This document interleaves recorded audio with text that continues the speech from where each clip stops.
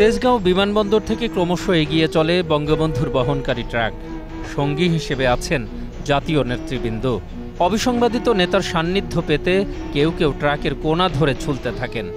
রেসকোর্সে তখন লাখো মানুষের প্রতীক্ষা। সবাই কাছ থেকে দেখতে চান প্রাণের নেতা শেখ মুজিবকে। শুনতে চান জেল, জুলুম আর নির্মম অত্যাচারের কাহিনী। যার ভাষণকে স্বাধীনতার বীজ মন্ত্র মেনে যুদ্ধে ঝাঁপিয়ে পড়েছিলেন।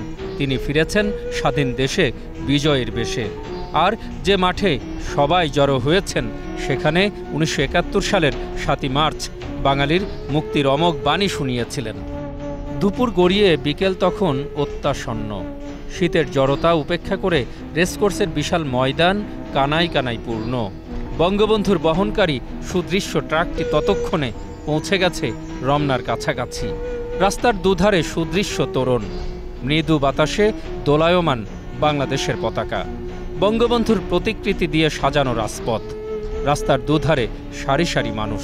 তেজগাঁও থেকে জনসমুদ্রে সে ঢেউ এসে মিশেছে রমনার রেসকোর্সে এত এত মানুষের হই হুল্লোর করতালি, মুহুর্মুহু স্লোগান উতরে দু ঘণ্টা তেরো মিনিট পর মুক্তির মহানায়ক পৌঁছালেন রেসকোর্সে ঘড়িতে তখন বিকেল সাড়ে চারটে।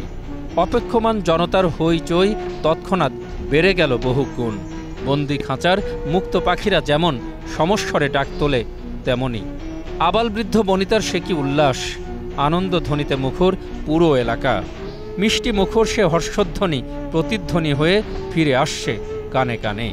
আস্তে ধীরে এগিয়ে অবশেষে মঞ্চে থিতু হলেন স্বাধীনতার প্রাণপুরুষ। জয় বাংলা, জয় বঙ্গবন্ধু ধ্বনিতে আবারও প্রকম্পিত হলো রেসকোর্স চতুর্দিক থেকে বানের জলের মতো উপচে পড়ছে মানুষ। আবারও পুষ্পবৃষ্টিতে অভিনন্দিত হন বাঙালির প্রাণের নেতা।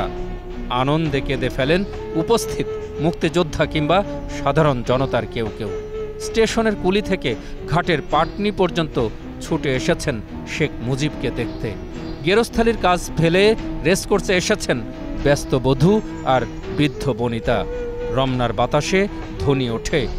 বিশ্বে এলো নতুন দেশ, বাংলাদেশ বাংলাদেশ। বিশ্বে এলো নতুন বাদ, মুজিববাদ মুজিববাদ। স্লোগানের সময় অনেকেই নিরাপত্তা বেষ্টনী ভেদ করে চলে আসেন বঙ্গবন্ধুর খুব কাছাকাছি। প্রোটোকল ঠিক রাখা কঠিন হয়ে পড়েছিল নিরাপত্তা কর্মীদের জন্যে। সবাই স্পর্শ করতে চান শেখ মুজিবকে। এত মানুষের আকুতি আর ভালোবাসা দেখে শিশুর মতো কান্নায় ভেঙে পড়েন তিনি।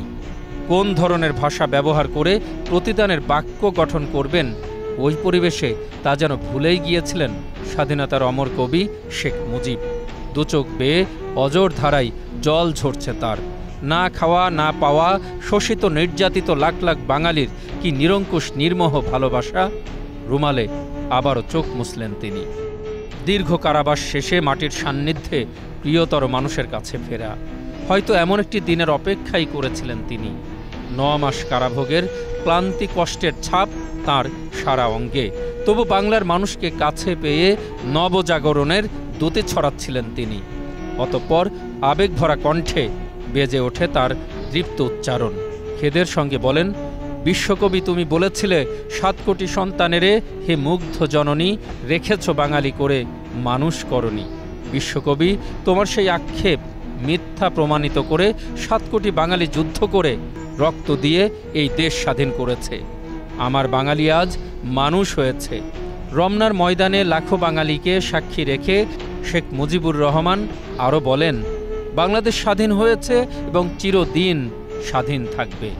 প্রশস্ত বদন, উন্নত ললাট, দু চোখে অশ্রুবন্যা বাষ্পরুদ্ধ কণ্ঠ।